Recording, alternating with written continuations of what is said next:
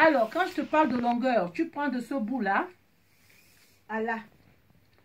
C'est la longueur du canapé. De là à là. Tu as la longueur. De là à là. Tu pousses ton mètre là derrière. À là, ça te fait la largeur qui est la profondeur.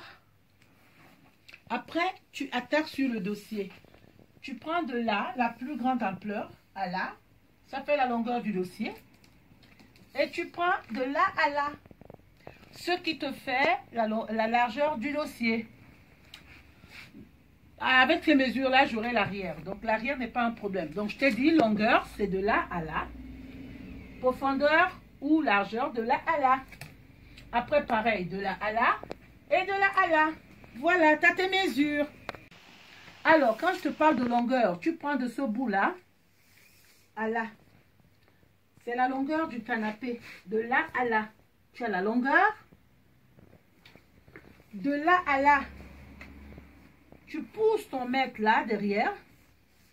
À là, ça te fait la largeur qui est la profondeur.